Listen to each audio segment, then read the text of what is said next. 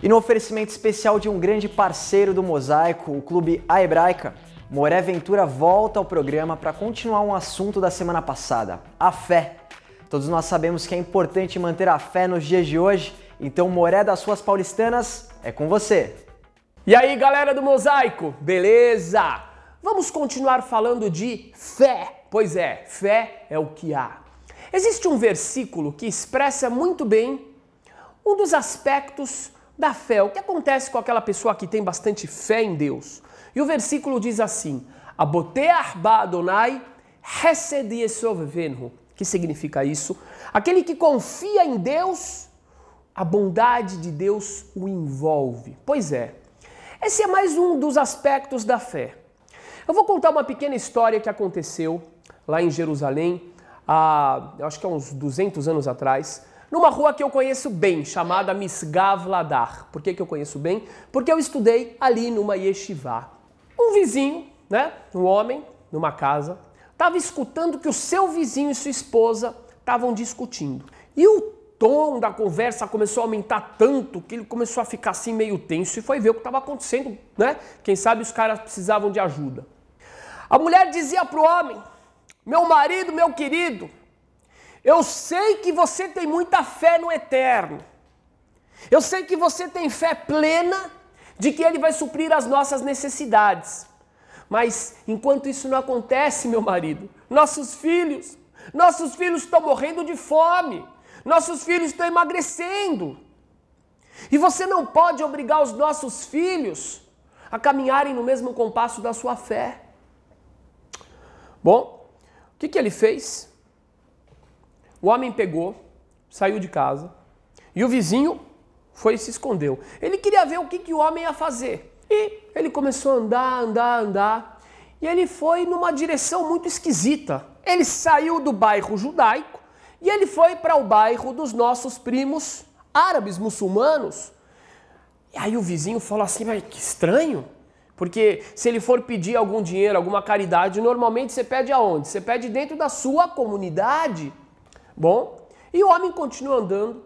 De repente, com toda a naturalidade do mundo, ele abaixou, pegou uma moeda que tinha no chão, colocou no bolso e virou. Mas a coisa foi tão natural que parecia que ele sabia que aquela moeda estava lá. Porque ele caminhou naquela direção. Não tinha nenhum lugar, não tinha nenhum objetivo claro para ele ir para aquele lugar.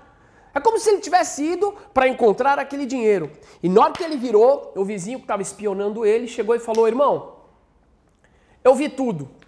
Me explica, por favor, o que é que foi essa cena? Como é que você sabia que essa moeda estava aqui?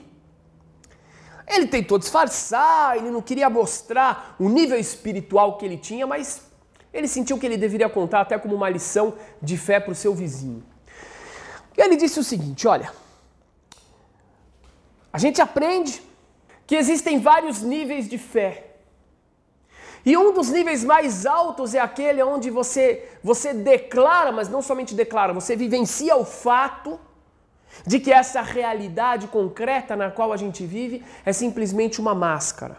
É simplesmente uma máscara que esconde a realidade absoluta, dentro da qual o Eterno pode fazer o que ele quiser e quando ele quiser, até mesmo contrariando todas as leis da lógica e do esperado.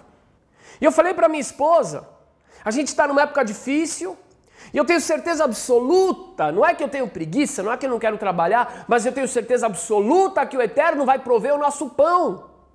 Até que chegou hoje e aconteceu aquela discussão que você, pelo jeito, escutou. Minha esposa falou: Eu não aguento mais. Os nossos filhos não podem mais ficar esperando o resultado da sua fé acontecer. Então o que, que eu fiz? Eu falei, eu vou caminhar em direção ao lugar mais improvável de eu conseguir alguma coisa e vai chegar para mim. Por isso, meu irmão, quando eu vi aquela moeda ali, para mim não teve novidade nenhuma. Qual é a mensagem dessa história e daquele versículo, meus queridos? A fé verdadeira, ela envolve esse último nível de fé, é, ele envolve descobrir, saber que o eterno ele está acima de todas as leis de causa e consequência, de todas as leis da natureza. E quando a gente descobre isso e quando a gente vivencia essa mensagem de forma correta, não como uma desculpa para nossa preguiça ou comotismo, então as coisas acontecem. Bom, galera, um grande abraço para vocês e que a gente consiga vivenciar cada vez mais essa fé maravilhosa. Até mais!